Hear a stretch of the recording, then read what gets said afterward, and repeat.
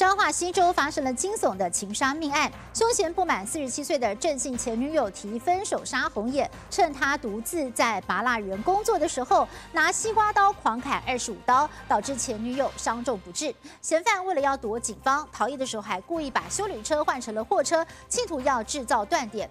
死者的亲友说，凶嫌暴力恐吓不是第一次了，就连先前的女朋友也曾经被他打到重伤住院。目前凶嫌已经被移送地检署。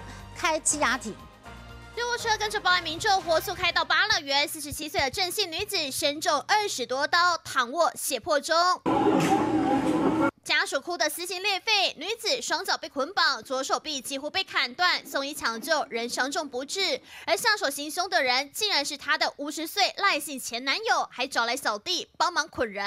啊，我堂哥算入去现场话算，对方迄个算甲讲，无你的代志，你你莫插啦。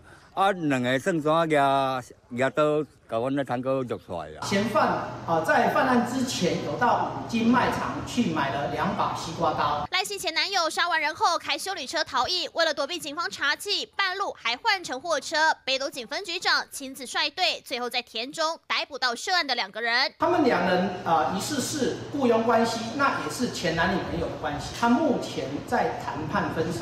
前男友曾在女子家里开的巴乐集货场当员工，还想插干股，被拒绝。两人交往不被女方家认同，所以女子提出分手。行凶前一天，赖姓前男友还跟女方妈妈拿了三十万，说要投资，结果全拿去打电玩赌博。隔天就预谋买刀，趁着前女友独自在巴乐园工作，下手行凶。感情的问题，算因分分合合，就甲讲十波，就今日夜刀去啊，来厝的柜来来回事咧。伊真正是恐怖情人，阮表妹是真正对有够好哎。拜回痴心的对啊。嘿呐。前的女朋友毛讲马上要拍他挡凶，恐怖情人换不回前女友，回心转意，最后由爱生恨，埋下杀人动机。记者戴荣茂、张化报道。